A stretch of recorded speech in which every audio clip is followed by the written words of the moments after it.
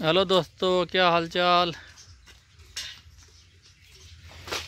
इसमें एक चीज़ बहुत ख़तरनाक है प्रीत में, और मशीन में पतन क्या होता है। ये नीचे छोड़। ये इस यहाँ पे, जब यहाँ पे आती है यहाँ पे तो ये अच्छी तरह लाख हो जाता है, गिर नहीं सकता। इस पर कोई लटक भी जाए तो लटक, हल्का सा। तो ये गिर नहीं सकती है।